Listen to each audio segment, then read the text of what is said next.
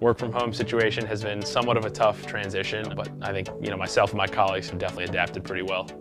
My name is Jacob Letwat, and I'm a strategy consultant. From one project to the next, you're working in completely different industries. You know, I've gone from retail to agriculture to telecom, and usually consultants travel four out of five days a week to go from being face-to-face -face with the client every day and, speaking with them and having those little moments of creativity to completely virtual was definitely a, a tough transition. There's definitely a number of, of limitations, uh, especially with getting on calls. I have roommates.